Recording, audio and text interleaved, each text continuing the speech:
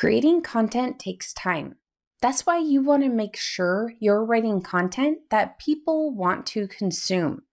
To do that, you need a keyword research system. We're going to walk through a simple process to find the keywords worth writing about. And now it's time for some more DIY SEO tips with Jennifer Rogina. Create a spreadsheet to track your keywords. Use a spreadsheet to track your various keyword ideas. And to make it easy to track your keywords, you can download the free Google Sheets template. To access it, just click on the video description and you'll see a link to the full article there. In the full article, there is a free download of a template that you can use for your keyword research system. To start, you'll want a column that you can use to document all of your keyword ideas. Create a column with the heading of topic slash keyword. We'll add more columns later in the process. Right now, just focus on generating ideas. Brainstorm content ideas. Think about your business and your target audience. Start listing any ideas that come to mind in the first column. Don't worry about details at this point. We'll refine the list later. Just add some topics as a place to start. Use tools to refine and grow your keyword list. Next, look at some data. There are a number of tools that you can use to help grow your keyword list. We're going to go over some of the non paid tools that you can leverage. If you already pay for a keyword tool, that's great, and you should certainly use that data. But we won't be discussing any specific paid tools here. First is Google Trends. Find out what's trending. Go to Google Trends and enter in one of the topics that you jotted down. Now, you can enter in a similar topic to see which one is more popular, or scroll to the bottom to find related topics and related search queries. Reviewing the related terms can provide new ideas to add to the list. Comparing similar terms can allow you to fine tune your list. Google Suggest. Next, go to Google. When you start typing in keyword ideas, there will be a drop down that tries to predict your desired query. Take a look at the suggestions and add any relevant ideas to your list. YouTube Suggest. Similar to Google Suggest, you can use the YouTube auto suggestion feature to generate more ideas. Go to YouTube and start typing in your keyword. A drop down will appear with suggestions, just like Google. Use those suggestions to add more ideas to your list. Google related searches. Go back to Google to get a few more keyword ideas. Perform a search with one of your keyword or topic ideas scroll to the bottom of the results page and you'll see some related searches. Take a look at the related search terms and add any relevant ideas to your spreadsheet. Ubersuggest. Go to Ubersuggest and click on Keyword Ideas to start to refine your list. This is a good spot to enter in some of your vague topic or keyword ideas and replace them with popular search terms. Ubersuggest will show you keyword suggestions, related terms, questions, prepositions, and comparisons. This data can provide new ideas as well as assist with refining existing terms. Answer the Public. Another useful tool to find specific topics is Answer the Public. This tool expands a keyword and groups it out in several different variations, including questions, prepositions, and comparisons. The result returns a visual chart that makes the data easy and fun to look at. This is an amazing resource to be able to drill down on some of your topics and find content ideas that are more targeted than your initial thought. Ubersuggest allows you to view questions, prepositions, and comparisons now, but these two tools don't always provide the same data it's good to look at as much data as you can get your hands on. Answer Socrates. And the last tool to expand and refine your keyword list is Answer Socrates.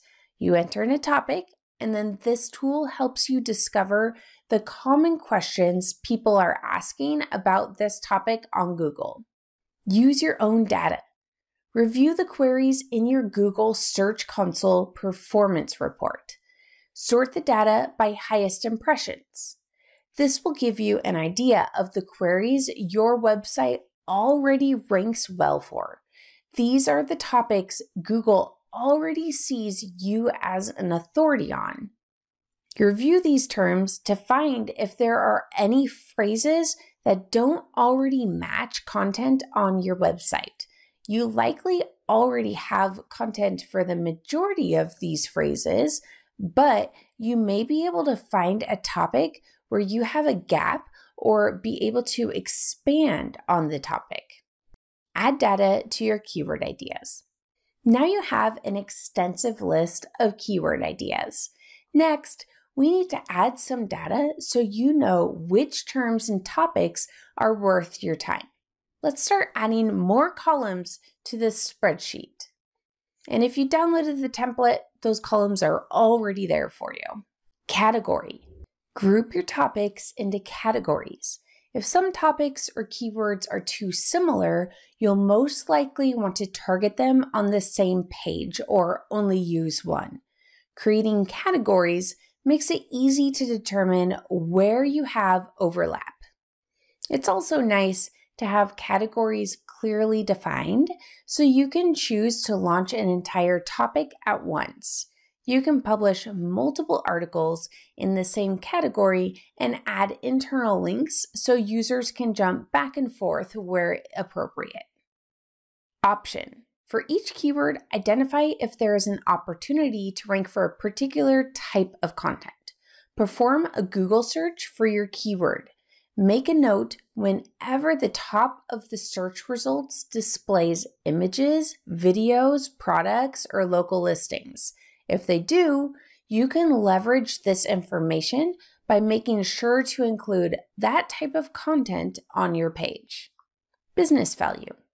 Go through each topic and determine what the business value is for you.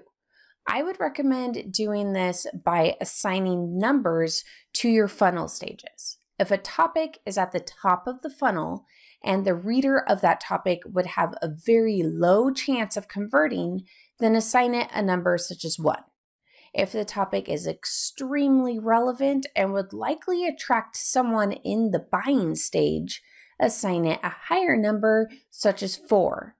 I'd recommend keeping a key with the exact criteria you use to assign the various number ranks so your data could be as objective as possible. Search volume and difficulty. It's nice to get a rough idea of the average monthly search volume to include on your spreadsheet. This data is easy to get with Ubersuggest. If you have a different tool you prefer to use to view this data, that's not a problem just use the same tool to capture the metric for all keywords so you're comparing apples to apples. Even if the numbers aren't exactly trustworthy, it's still a great comparison metric to determine which of your topics are more popular than other topics. To use Ubersuggest, simply enter in your keyword. Then record the search volume and SEO difficulty metrics found on the Overview tab. These metrics give you an idea of how popular each topic is and how competitive it is to rank for the topic. Once you have all of the data, sort by category and add some conditional formatting to the business value, monthly searches, and competition metrics to make it easy to review and prioritize the ideas. And if you're using the template, that has already been configured. All of that conditional formatting is already done for you. Plan your publish dates. Now that you have the keywords you want to create content for, commit to a timeline. Assign publish dates for the various topics and get started writing that content. A content calendar is included with the free Google Sheets keyword research template, so make sure you download that for a shortcut. Again, just click the video description to get a link to the full article with that template. This system generates a great list of ideas to start with. As you continue to think of new ideas, follow this system and add them to your spreadsheet. This process is intended to be repeated on a quarterly basis. That way, it remains current and full of fresh ideas. What's your favorite way to generate a new keyword idea? Please share it with us in the comments.